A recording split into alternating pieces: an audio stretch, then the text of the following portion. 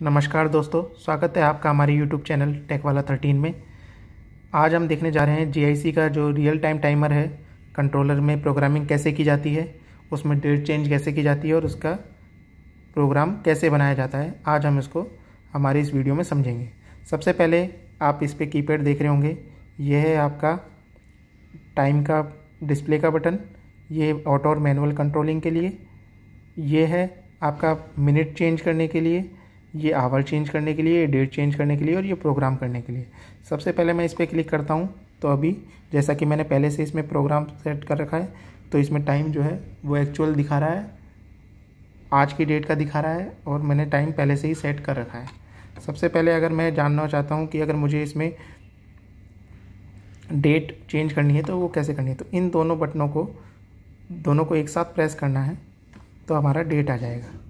Date आने के बाद में आपको इस वाले बटन पे क्लिक करना है तो यह वाई वाई आएगा जो कि ईयर को डिनोट करता है। उसको हम इससे अप डाउन करके चेंज कर सकते हैं। फिर उसके बाद में इसको वापस से प्रेस करना है तो मंथ आ जाएगा। उसको भी हम एच प्लस से घटा सकते हैं और इससे बढ़ा सकते हैं। ये इनसे हम इसकी सेटिंग चेंज कर सकते हैं। जैसे कि तीसरा महीना है तो तीसरा महीना मैंने सेट कर रखा है। फिर प्रेस करते हैं तो यहाँ डेट आ जाएगी। जैसे कि आज, मान लीजिए, इक्कीस डेट है। तो ये मैंने सेट कर रखी है। जैसे कि आज की डेट चौदह है तो मैं इसको सेट कर देता हूँ। तो ये सेट डेट सेट हो गई है अपनी। तेईसवा महीना है, तीसरा महीना है, और ये चौदह डेट हो गई आज की। ये हो गई आपका डेट और टाइम इसमें जो सेट करना है, अपने को ईयर सेट करना है, उसकी सेटिंग के लिए हो गया। वापस से अपने को टाइम में आना है। अब अगर मुझे डेट चेंज करनी है तो मुझे टाइमर और डी प्लस वाला बटन एक साथ प्रेस करना है, जिससे कि आपका देख रहे होंगे आप डे चेंज हो जाएगा।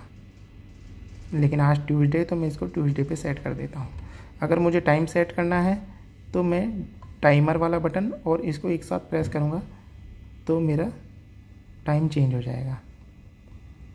तो जैसा कि प्रेजेंट में अभी ग्यारह बज रहे हैं तो मैं ग्यारह बजे का टाइम डाल दूँगा। जी, आपको एएम और पीएम का ध्यान रखना है। अभी यहाँ पर ए एम आ रहा है। अगर आप आगे बढ़ाते जाएँगे तो पी एम में जब चेंज हो जाएगा, बारह बजे बाद तो आप इसको ग्यारह, अभी का टाइम ग्यारह है तो ग्यारह पर मैं इसको सेट कर देता हूँ। अब इससे आगे देखते हैं, अगर मुझे मंथ चेंज करना है तो यही टाइमर का बटन और एम प्लस का बटन में दबा के इसका टाइम चेंज कर, जैसा कि देख रहे हैं कि आप टाइम चेंज मिनट में चेंज हो रहा है तो ये मिनट में टाइम चेंज हो जाएगा। इन दोनों बटनों से आप टाइम को चेंज कर सकते हो। अब मुझे इसकी कंट्रोलिंग मैनुअल करनी है या ऑटो करना है तो मैं इसको प्रेस करके auto on auto off auto on और मैनुअल सेट कर सकता हूँ। अभी मैं ऑटो में ऑन करना चाहता हूँ तो ये ऑन हो जाएगा। ऑटो ऑन हो जाएगा, या ऑटो ऑफ़ की मैं सेटिंग इसको आसानी से कर सकता हूँ। या फिर मुझे मैनुअली कंट्रोलिंग करवानी है। मैनुअली ऑन हो गया या मैनुअली ऑफ़ हो गया और ये ऑटो में ऑफ़ या ऑन करवाना है, उससे हम इसकी सेटिंग कर सकते हैं। अब मैं देखता हूँ कि अगर मुझे प्रोग्राम करना है तो प्रोग्राम के लिए ये वाला बटन है। प्रोग्राम का बटन जैसे ही क्लिक करेंगे तो आपके पास में प्रोग्राम आ जाएगा। इसमें आप ऊपर जो डे भी सिलेक्ट कर सकते हैं टाइम भी सिलेक्ट कर सकते हैं और ए एम पी एम भी सिलेक्ट कर सकते हैं। जैसा कि मैंने पहले से प्रोग्राम कर रखे है कि एक मैंने प्रोग्राम डाल रखा है कि मेरा जो इक्विपमेंट है वो आठ बजे ऑन हो और नौ बजे ऑफ़ हो जाए। तो इसकी प्रोग्रामिंग के लिए अपने को क्या करना है? आपको डी हावर चेंज करने के लिए एच प्लस पे क्लिक करना है और मिनट चेंज करने के लिए मिनट पे चेंज मिनट पे क्लिक करना है। तो जैसे मान लीजिए मुझे दस को बारह करना है तो ये बारह हो गया।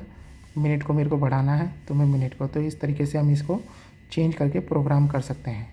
एक प्रोग्राम मैंने पहले से ही डाल रखा है। अगर आपको कुछ चेंज करना जैसे अगर मुझे मान लीजिए डेट चेंज करनी है तो मैं डेट चेंज कर सकता हूँ। मान लीजिए मुझे संडे हटाना है तो ये संडे का और अगर मुझे मेरे अकॉर्डिंग कि मेरे को जैसे प्रोग्राम करना है तो उसके अकॉर्डिंग मैं इस डी प्लस से मैं इस प्रोग्राम में चेंजेस कर सकता हूँ। नमस्कार दोस्तों, अब अगर आपको ये वीडियो अच्छा लगा हो तो आप ज़्यादा से ज़्यादा शेयर कीजिए और चैनल पे आप अभी नए हैं तो सब्सक्राइब कर दीजिए लाइक कर दीजिए और शेयर कर दीजिए। धन्यवाद दोस्तों, जय हिंद।